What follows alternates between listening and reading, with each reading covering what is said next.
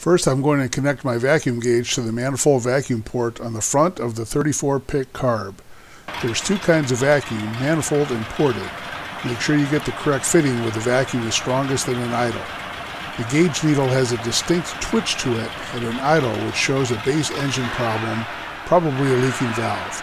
The twitch indicates that each of the four cylinders are not pulling evenly on the intake stroke. If I had an ignition problem causing a misfire, the needle would be steady. By chance, this engine also has a vacuum fitting on the manifold under the carburetor, which not all engines have. I'll connect here and get pretty much the same reading with the steady twitch of the needle.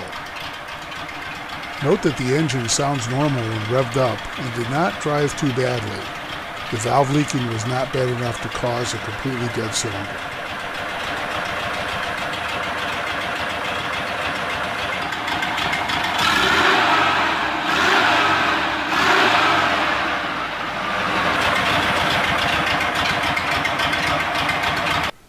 Now for comparison, I'll connect to another bus at the same manifold port on a 34 PICT carburetor which has a healthy engine. Note the needle is quite steady at an idle.